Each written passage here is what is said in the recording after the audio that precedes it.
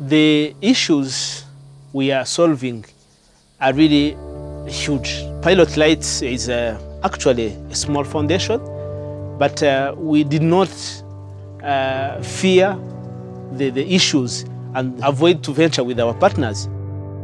We always say there's no formula for the work that we do, that we have a general formula, but we tweak it for each project depending on the needs of that particular group. As in all of our projects, we work in the revolving funds to help grow and sustain their businesses without the need to keep asking for further funding.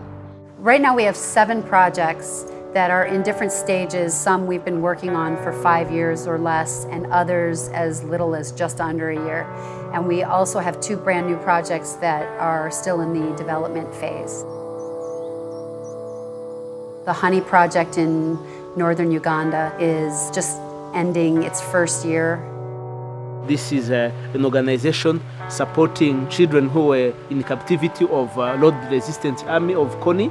So this can mean child soldiers, it can mean soldier wives, which are really girls who were kidnapped and forced into sex slavery, as well as the children born of these girls, children orphaned by the LRA, or even in our project we have some adults who were kidnapped by the LRA and traumatized significantly, who suffer from PTSD or mental illness as a result of that. You have a teenager who is the head of a household uh, and can have many siblings. One of the kids that we visited is a young man named Charles who is taking care of four younger brothers. Both of his parents were kidnapped by the Lord's Resistance Army and they were so heavily traumatized that upon being rescued or escaping, the mother took off and disappeared, and the father is too mentally ill to be able to take care of anybody. So these guys are just left on their own. Charles and his brothers some days have nothing more than cabbage to eat. The children have been left alone.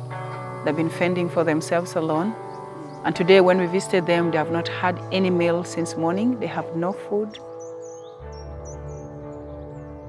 We are supporting them to improve the livings in their homes through the beekeeping program.